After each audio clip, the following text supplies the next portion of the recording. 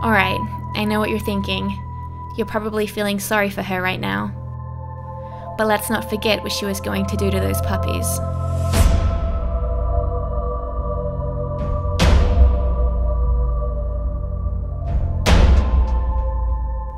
Today I'm going to show you how we created this gruesome Dalmatian's Revenge Cruella de Vil makeup. I got these encapsulated silicone pieces from Prosthetic Renaissance, and they're these amazing dog bite prosthetics to the face. And I wasn't sure how I could use them in a full Halloween costume. So I was browsing the wholesale Halloween costumes website and I saw the Cruella de Vil costume and I went, you know what, that's it, we're gonna do this. Then my friend Mark, also known as Powdah, came over and he helped me to apply this and he added so many beautiful details. It would not have looked anywhere near as cool if he hadn't have helped me with this. And my friend Dan Zeplin helped us film this, so all of the beautiful handheld shots and close-ups and all that will be Dan's work. So I had a lot of help to bring this to life, which is really awesome. I love collaborating with people, so many thanks to Dan Zeplin. Thank you to Mark for all of his help, and thank you to Prosthetic Renaissance and to Wholesale Halloween Costumes for sending me over the prosthetics and the costumes to help me create this disgustingly gory Halloween costume. We're going to be applying this makeup to my friend Leah, who volunteered her lovely face. So we started by prepping her face, so we cleaned it with witch hazel and we put a barrier foam down to protect it. Then we positioned the silicone pieces over her face to make sure it would fit, and then we put a layer of Pros-Aide on the back of the prosthetic and a layer of Pros-Aide on Leah's face. So we have the double contact adhesion, which will make it last a bit longer.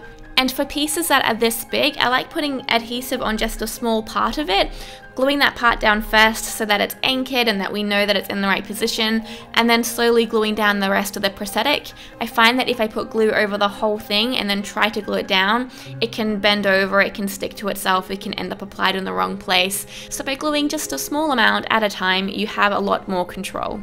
Once we had successfully glued down this half of the prosthetic, we're going to start dissolving away the cap plastic edges. Now, prosthetic renaissance pieces are encapsulated in an acetone based cap plastic, so we are using a cosmetic grade of acetone that I bought from the pharmacy to dissolve those edges. The edges are also really tight, which means you're not going to accidentally glue down too much cap plastic, but which also means you can accidentally dissolve away too much cap plastic, so to make sure we are getting very nice edges, we're using a very small brush dipped in the acetone and we're running it right along the edge of that cutting edge up against the flashing to dissolve away the cap plastic. As the cap plastic comes away and starts to hang loose, I like to cut it off with a pair of little scissors just to make sure it's not flapping around and getting in the way. And then once that flashing has been completely dissolved off, I like to get a little bit of acetone on a cotton tip and just make sure that all of those edges are nicely blended out. Now that we've finished one half of the face, we're going to be completing the same thing on the other half of the face, double contact adhesive, placing the piece against Leah's face, dissolving around the flashing, and then finishing it off with a cotton tip.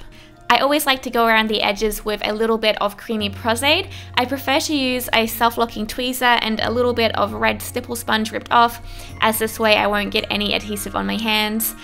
And then I'll stipple the Pros-Aide all the way around that cap plastic edge. I find that it helps to disguise that cap plastic, which can be quite shiny, by giving this kind of textured skin-like appearance over it rather than it being really smooth.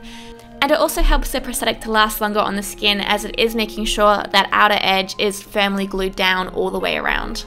Then because that Pros-Aide can be a little bit shiny and because the cap plastic can be a little bit shiny, I'm going to go over all of this with a matte sealer. I've been loving the Bluebird matte sealer, so I'm using that um, mixed in a cup that has been watered down, or I guess alcohol down, with a little bit of 99% alcohol just to thin it. I'm putting this over the Pros-Aide edges. I'm actually putting this over the whole prosthetic, just so the whole prosthetic will have the sealer, it will be mattified, and it will be a little bit easier to put down alcohol colors and to put blood down over the top of this. Now we're going to start coloring this piece, so we use alcohol activated palettes. I think we use mostly the Skin Illustrator Complexion palette and a little bit of the Light Flesh Tones palette as well. We started out with the pinks and the reds going back into the skin as everybody's skin has a whole heap of pinks and reds. I started by spattering this on with a chip brush which has been cut off, dipped into the alcohol. And we also used fan brushes, stippling brushes, and little detailing brushes to get into all of those areas. I think the only other colour that I used on Leah's skin was a cool tone from the Complexions palette as well. Now we're detailing the centre of the wound with different pinks. I tend to not put too much red inside my wounds anymore as I know the blood is going to be doing that for me anyway. I also go back in with a cotton tip with isopropyl alcohol on it just to remove any extra reds which are going over that beautiful intrinsic colouring so those whites and yellows and pinks can come through as well. And this is our finished paint job before we put down any of the bloods. And you can see these silicone pieces have really beautiful edges if you put in the time and the patience to blend them out properly. Now we're going to put on the wig, so I put down a wig cap first and then this longer Cruella de Vil wig. And I'm also going to put a little bit of beauty makeup on Leah. I want it to be more of a distressed beauty makeup. So we start with an eye primer and then just some neutral brown shades on the lids. Then with my gel liner, I'm going to put it on quite messily and sloppily and make it look quite a bit messy. Then I put on mascara and then with my spoolie brush, which still has mascara on it, I'm going to dot mascara over the upper eyelid and then on the lower eyelid and down onto the cheek to simulate crying. And I'm also adding a little bit of water on a makeup brush just to further simulate that as being mascara tears. I also added a little bit of brow product to the brows to give them a tiny bit more definition and we're going in with some red lipstick because Cruella de Vil obviously wears a beautiful red lipstick, but again we want it to be quite messed up as if all of her face is so badly damaged around her lips, the dogs definitely would have ruined her makeup.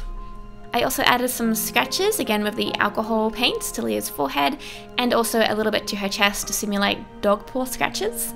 And before we applied the blood, we got her in position of how we wanted to film the intro so the blood would run realistically. We put down a clear piece of plastic over my tiles just in case the blood was going to stain the grout or anything like that. So we are going to be using a mix of different bloods. So I am using Fleet Street Dark and Robert Smith Silicon Flow Blood and also some PTM Red Drum Blood. We pretty much just completely fill that wound with blood to get it into all of the nooks and crannies and then go in with wet wipes and tissues and water just to take all of that blood back so we have the kind of traces of blood and remnants of blood without it just being a completely red mess with no discernible details. Just because that silicone prosthetic is really pretty and we do want people to be able to see all of the details and the skin edges and the flappy bits and everything. We also made a puppy paw print stamp by getting a microfiber towel and putting some sponges inside it and then using elastic bands to kind of tie it up to create those round paw prints. Then Mark dipped this into the blood and he put it around Leah's body and on Leah's body to simulate the puppies having stepped onto the blood and then walking away so it tells a little bit more of a story. And the poor thing was totally Mark's idea and I think it really sells it. I think it's a cool detail. Next I went in and made a pool of blood under Leah's head just because I thought that visual would be quite pretty and I wanted to use Rob Smith Silicon Flow Blood just because I really like the colour and it doesn't beat up so it will sit really nicely on that plastic tiling floor without it, you know, beating up and looking quite fake.